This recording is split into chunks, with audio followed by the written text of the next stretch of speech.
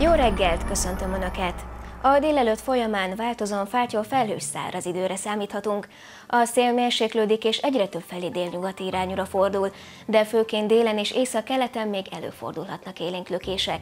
Rendkívül enyhe lesz az idő, a hőmérséklet csúcsértéke 12 és 17 fok között alakul. Folytatódik a fátyol felhős napos idő. Csütörtökön a nap első felében több lesz a felhő, így előfordulhat egy-egy jelentéktelen zápor. Péntektől a fokozódó légmozgással igen enyhe levegő érkezik térségünkbe, olyannyira, hogy akár 20 fok körül alakulhatnak a hőmérsékleti értékek szombaton. Ugyanakkor a hét utolsó napján már záporok zavarhatják a tavaszias időt. Ezzel köszönöm figyelmüket, viszontlátásra!